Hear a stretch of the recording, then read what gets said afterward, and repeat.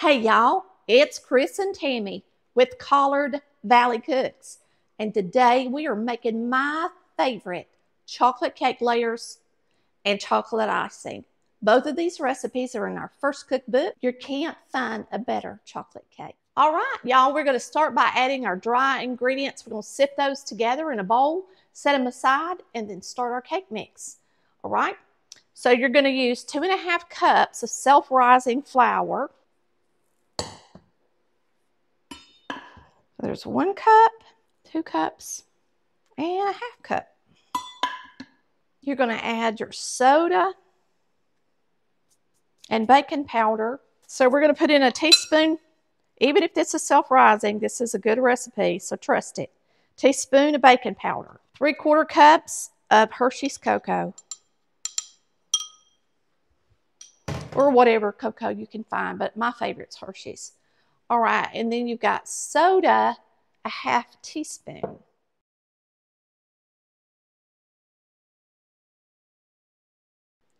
Half teaspoon of soda. I'm sure when my pup hears me say that, she thinks I'm talking about her. Because our dog's name is Soda. All right, so we're going to sift this together. So that's your flour, your soda, your baking powder, and your cocoa.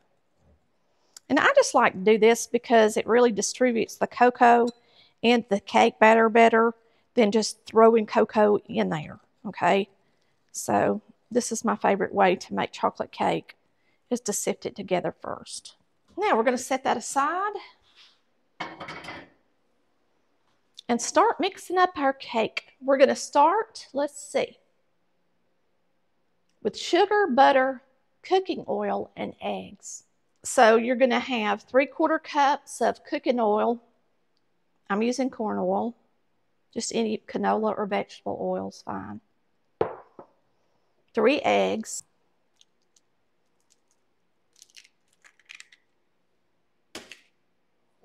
There's one.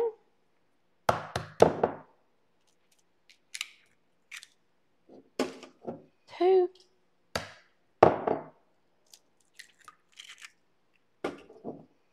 three. Our butter, which is a stick at room temperature, which is a half cup.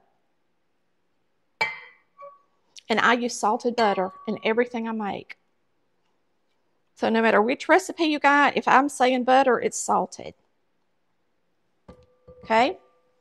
And then you got your sugar, and your sugar is two and a quarter cups. There's one, two, and a quarter. Now I'm going to turn it on.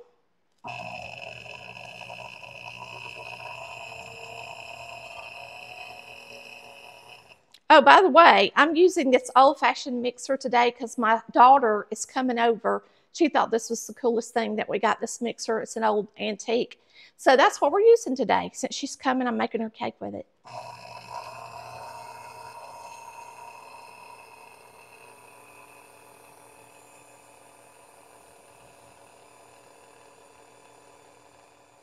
Um, and the cool thing about this mixer is if you look, it'll say uh, blend cookies, muffins, one bowl cakes, and it tells you what number, add dry ingredients to put the mixer on to do stuff like that. And we're about to add dry ingredients, so we'll put it on that one.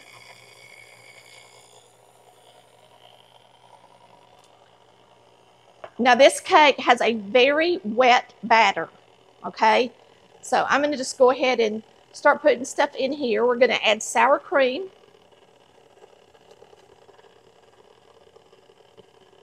It's a half cup of sour cream, a cup of milk,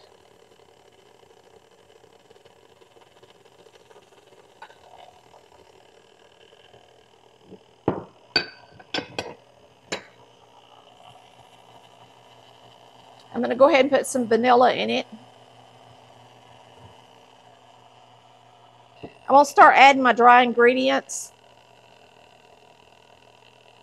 You can add them a half cup at a time or quarter cup, however you want to do it. And once you get about half of your ingredients in there, then you're going to put in your coffee. This is eight ounces of strong coffee.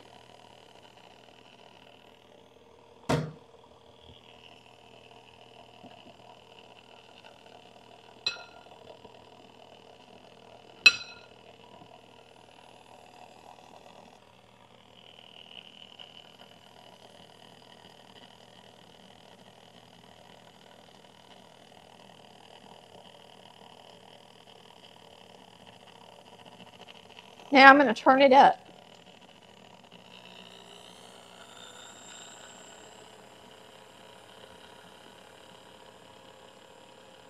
And we're going to beat this about two minutes. It looks really good. Now this is a simple cake, super easy to make. To I mean, it's really easy. It's got a very liquidy batter. It is super moist and delicious. And um, if you don't like coffee, try to use the coffee anyway because it tastes so good with chocolate. Uh, you're not going to notice, you're not going to taste the chocolate. Just enhances the flavor of the chocolate. All right, when you're mixing a cake batter, um, you shouldn't overmix it. And so you should mix it about two minutes once your flour's added in there. And that should do it. That's all you got to do. All right, I'm going to spray a 13 by 9 sheet cake pan. And I'm making a sheet cake today instead of a layer cake. It's so much easier on us. And quicker. It's easier to serve too. And we're going to make May's favorite chocolate icing. So you'll get to see that too.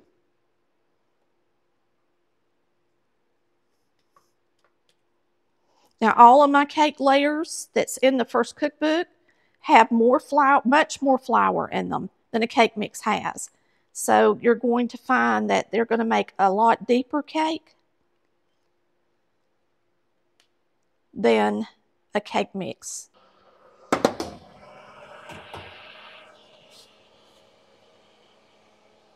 All right, we'll see you in a little bit. Boy, it's going to be good.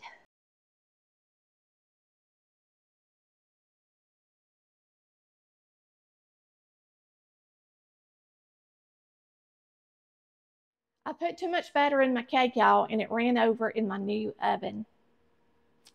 You really shouldn't fill it over halfway full, and it was about three quarters full.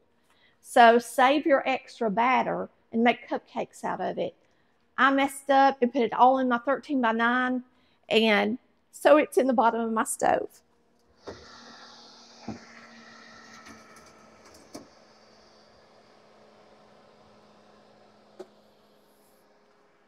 but it looks so good.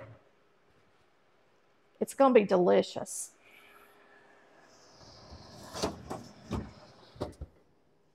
And now I got a stove to clean up. So don't make that mistake. My cake batter recipes make a lot of cake batter. So no matter what pan you're using, make sure that you don't fill it over halfway full. The only cake that's in there that doesn't rise very much is the carrot cakes and the cakes that have a lot of fruit in them, like my fruit cake, um, that kind of stuff. But just a normal layer cake, if you use my homemade layers, uh, I wouldn't fill it over half full. But don't it look delicious? And I can eat a piece of it.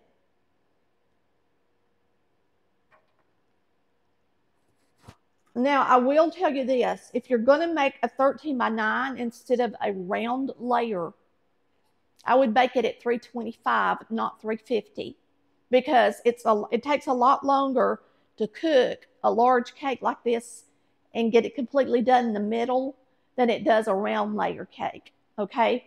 So I would turn the oven down to 325 degrees, which is what I did with this cake.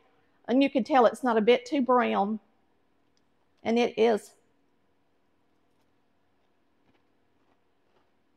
so good. All right, I'm getting me a piece of parchment. And I'm actually going to flip this cake out, mainly because we're doing a video today. and I want it to have time to cool off good before I ice it. Um, but now you can leave this in the pan and just ice it in the pan if you want to. I just don't have time for it to cool off. So what I want to do is flip it out to help cool it off sooner. But you don't have to do that. Since this is a very delicate cake, I'm to do it this way.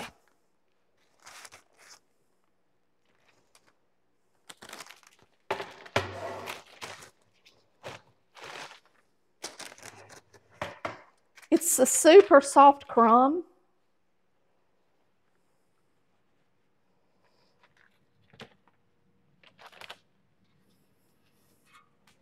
But it's a very pretty layer and very tall. Um, so, I mean, if you've got a regular oven that you can put a pan underneath it, you can go ahead and make it like this and let it boil over if you want to. And that way it's a nice big tall layer. Um, and if not, that's fine too, whatever you want to do. But look how pretty and tall that is for a birthday cake. So we're going to ice this with May's favorite chocolate icing. So we'll mix that up right quick. I'm going to go put this in the big freezer and get it cooled down some. This icing is my family's favorite fudge icing. It is a lot like the icing that people make on the stove top without all the fuss. It tastes like it. You can make it really rich in chocolate by using water, or you can make it milk chocolate by using milk. My family likes it made with water. Okay, they like it real fudgy. So we are going to use three quarter cups of cocoa, three quarter cups of water with a stick and a half of butter. And we're actually going to put this in the microwave and get it warm enough to melt the butter good. So it's a stick and a half, which is three quarter cups of butter with three quarter cups of water with three quarter cups of cocoa. And so the only the only other thing we use is eight cups of powdered sugar and some vanilla flavoring. So we're going to put this in the microwave. All right. And I'm going to put a cloth over it so it don't make a mess. Because Lord knows I've already got a mess in my stove today. I don't need my, a mess in my microwave too. Now I'm going to sift this powdered sugar because we've moved and we've been all over the place and it is just not light and fluffy like it should be. All right. So I'm just going to measure it. There's two cups of it. And I'm not putting my cocoa in there because I don't like getting cocoa in my sifter. Okay. So we will whisk in the cocoa once we're finished doing this part. All right, that's good. That's plenty of powdered sugar. Now we're going to add our cocoa. This makes a lot of icing. Okay, so just put it in your mixing bowl and turn it on a low speed. And let it mix up before you start adding your liquid. You can tell on the side of that bowl, I need to go around it with a spatula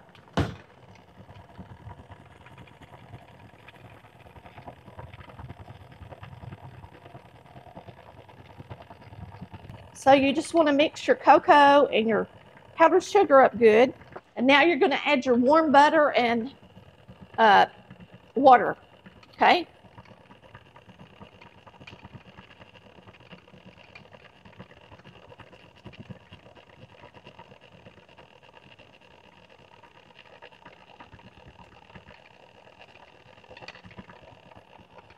Okay.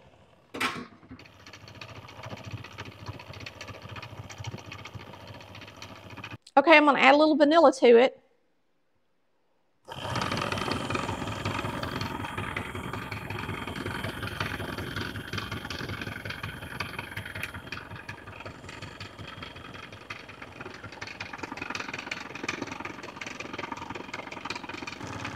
That's a little bitty piece of butter melting right there on the top.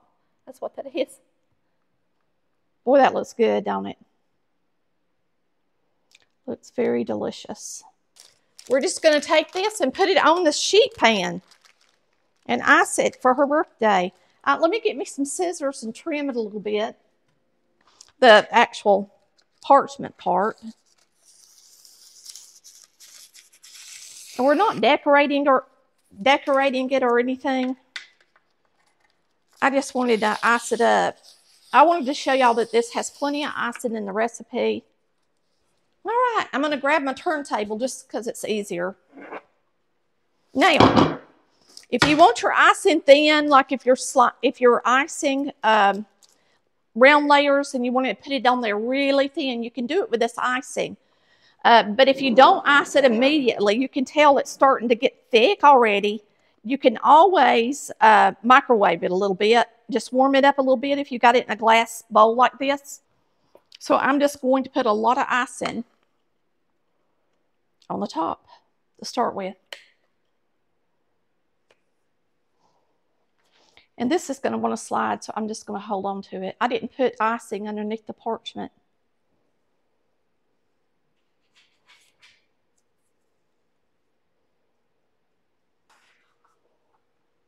All right. But I just wanted y'all to see how pretty this is if you want to make a birthday cake out of it. And of course, we're going to cut it and let y'all see how it looks on the inside as well.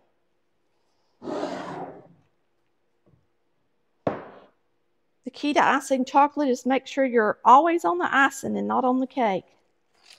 And have plenty of icing on the top to push it over. And if you do that, then it usually works pretty good. I'm just trying to get the corners pretty and then I'm going to put a design in it. But you got to hurry because it does, you know, start setting up pretty good. All right, here we go.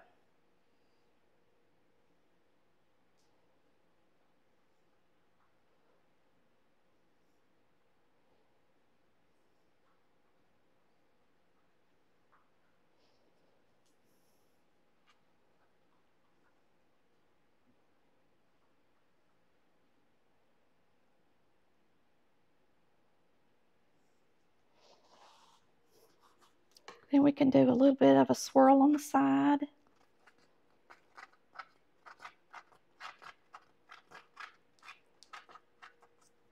You can't beat it. And there you have it, a good old chocolate cake. I promise you'll like it. And you don't have to flip it upside down and ice it like I did. You can just ice it in the sheet pan and make it simple. If you ice it in the sheet pan, I would make a half a recipe because you can see I've got extra. This makes a lot of icing in case you want to make one of those really tall stack um, chocolate cakes, you know, with the thin layers. But you can make a half recipe and ice it in the sheet pan and make everybody just very happy.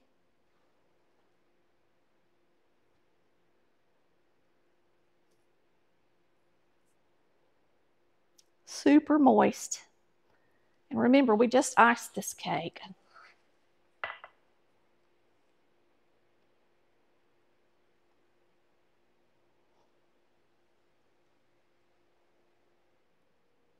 Just get a bite.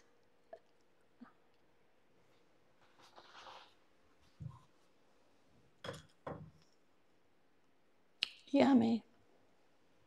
Boy, that's good. That is so good. It'll be absolutely delicious with some vanilla ice cream. Woo! Y'all give my chocolate cake a try. You're going to love it. And we will see you next time on Collard Valley Cooks, where we cook like our mamas did. Bye, y'all. Love ya.